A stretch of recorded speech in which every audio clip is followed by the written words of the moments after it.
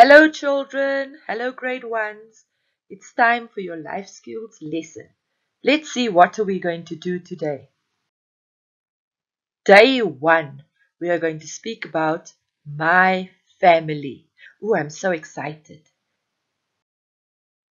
So, we are going to learn about families and the different tasks of each family member and how you can help in their house. You all have lots of jobs to do. So let's find out about your family. Can you read the following with me? Some families are big and some are small. Some have moms and dads and some don't. Some families live with their grandmothers and grandfathers, uncles, aunts and cousins. If you look around in your house, I wonder who's with you today. Do you have brothers and sisters? Do you have cousins with you, aunties and uncles? Is your grandmother or grandfather with you? Or are you alone with your mom? Or alone with your dad? Or you have a mom and dad? All families are different. Let's find out about your family. Let's see if you can answer the following questions. Whom do you share your home with? Look around quickly. Tell your mom and dad who's with you in the house. The next one. Who is the youngest in the home? I wonder if it's you. Or maybe you have a brother or sister that's younger than you. Who is the oldest in the home? Maybe dad is. Or maybe mom is. Maybe grandmother or grandfather is. But with you in the home right now, who's the oldest? Here's a good question.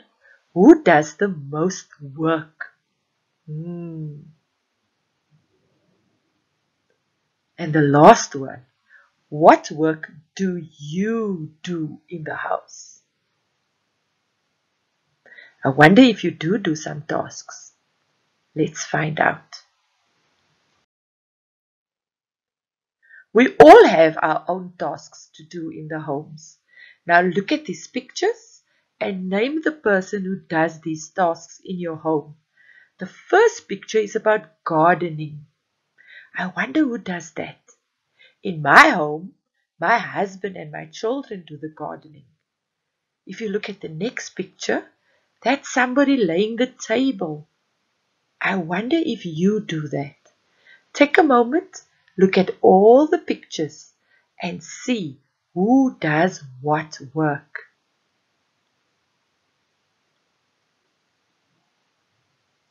Right.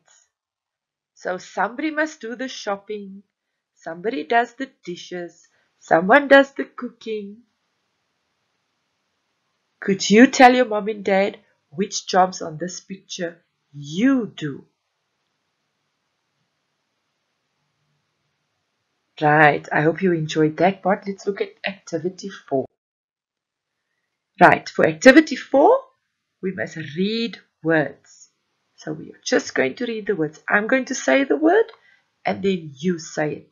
Mother, brother, sister, grandmother, family, baby, father, grandmother. Say it quickly on your own, one more time.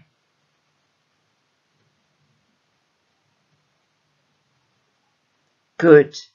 Let's see what we must do next. Oh, let's draw a picture together of the family. Your family.